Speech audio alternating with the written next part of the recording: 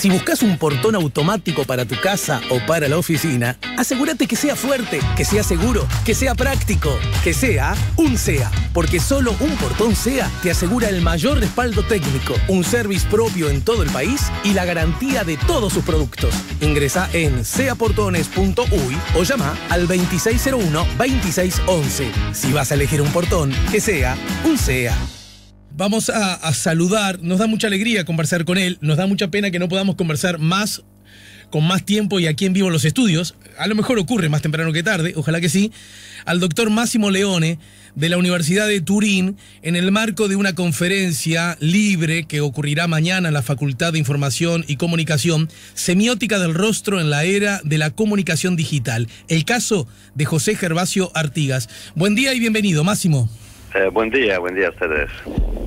A, mí me gustaría que, en pocas palabras eh, nos dieras cuenta de con qué objetivos y hacia dónde va la conferencia del día de mañana, para que, entre otras cosas, lograr que muchos oyentes se interesen y vayan por allí. Ah, sí, bueno, eh, será una conferencia sobre eh, el sentido del rostro eh, y la manera en la que este sentido cambia con uh, las comunicaciones digitales. Y um, la conferencia tendrá un enfoque um, uruguayo, o sea, se ocupará principalmente de un caso muy interesante eh, que es el rostro de José Gervasio Artigas, el prócer uruguayo. Y, um, en pocas palabras, yo me intereso mucho de la manera en la que nosotros utilizamos representaciones visuales, imágenes de rostros para construir nuestra propia memoria individual, pero incluso para construir una memoria colectiva. Entonces me interesaba mucho el caso de Artigas, porque es un um, rostro el suyo que aparece en uh, imágenes, eh, las cuales están en el centro de la construcción de la identidad simbólica de Uruguay. Y, desde ese lugar, con el caso peculiar que a Artigas eh, casi no le han hecho retratos, excepto solo uno, por lo tanto el rostro que conocemos de Artigas es un verdadero, en buena medida, enigma, ¿no? Sí, exactamente, y mm, eso es eh, precisamente lo que me fascinó en el caso de Artigas, porque por un lado las comunidades tienen la necesidad de em, dirigirse y venerar eh, una imagen verdadera. Eh, esto acontece em, desde el principio de la civilización occidental, acontece por ejemplo con Jesús, ¿no? Es el problema muy importante de la vera efigie, o sea, de la imagen, de la efigie verdadera del rostro de Cristo. Y entonces cuando se construye em, una iconografía eh, alrededor de un héroe, eh, es necesario que este, esta iconografía tenga en su centro una imagen que sea verdadera, que tenga una um, lienzo, una relación em, de em, tipo espacial, temporal, con el rostro del personaje histórico.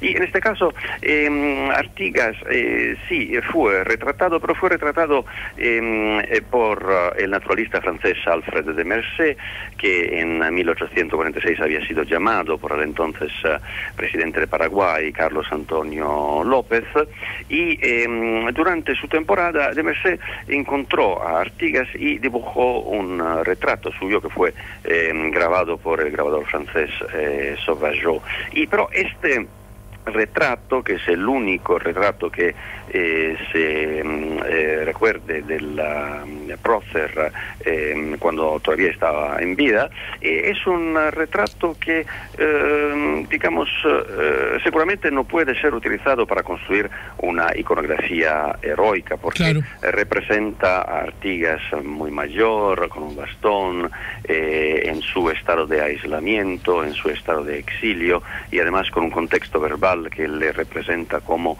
un personaje negativo. Exacto. Ahora, eh, lo que tú dices, eh, doctor, que, es muy claro, eh, en todo caso ya ocurría el uso del rostro al servicio de, de, un relato ya ocurría antes de la comunicación digital. La comunicación digital, ¿qué aspectos subrayan, acentúan o incluso contradicen a lo ya existente?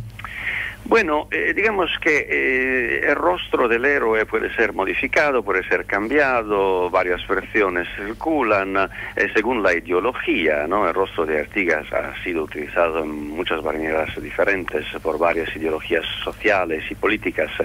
Entonces, em, esta parcialidad del relato visual que pone al centro el rostro del héroe se vuelve aún más extrema con la comunicación digital. O sea, en la construcción eh, de las imágenes a través de los píxeles, em, nosotros no tenemos ninguna certidumbre de la veracidad de una imagen. Eh, cada imagen se vuelve objeto de una sospecha, eh, cada imagen se vuelve artificial. Entonces, y por un lado, em, circulan imágenes que ya eh, no tienen este aura que tenían las imágenes producidas con tecnologías analógicas, ¿no? Por ejemplo, la, mm, fotografía eh, predigital. Y por otro lado surgen también eh, nuevos mitos digitales, ¿no? Ha surgido, por ejemplo, hace mm, pocos años el mito que pueda existir una fotografía de Artigas, ¿no? que haya sido descubierta por un investigador americano. Entonces, nosotros eh, vemos circular estas, eh, estas imágenes, em, pero no sabemos si estamos enfrente de una fake news ¿no? visual o si verdaderamente se, se, trata de algo nuevo que pueda cambiar la historia de la, mm, digamos, construcción de la nación uruguaya. Perfecto, yo les recuerdo a los oyentes que la conferencia ocurrirá es con entrada libre y gratuita, no hay necesidad de inscribirse previamente en la preciosa Facultad de Información y Comunicación, aún muy nueva, que hay que visitar en sí misma, San Salvador 1944, ocurrirá, repito, mañana 18.30 horas, bajo la consigna Semiótica del Rostro en la Era de la Comunicación Digital, el caso de José Gervasio Artigas, quien va a estar allí dictando la conferencia, es quien ha conversado con nosotros el doctor de la Universidad de Turín, Máximo Leone. Eh, tante gracias, Máximo, y nos reencontramos más temprano que tarde, ¿sí? Muy bien, muchísimas gracias a ustedes por la atención. En todo caso, después en producción nos comunicamos contigo a ver si logramos la forma de tener algún minutito más para conversar contigo en una agenda que me consta es muy apretada y muy exigente, ¿de acuerdo? De acuerdo, será un placer, un agrado. También para nosotros, Máximo. Si buscas un portón automático para tu casa o para la oficina, asegúrate que sea fuerte, que sea seguro, que sea práctico, que sea un SEA. Porque solo un portón SEA te asegura el mayor respaldo técnico, un service propio en todo el país y la garantía de todos sus productos. Ingresa en seaportones.uy o llama al 2601-2611. Si vas a elegir un portón, que sea un SEA.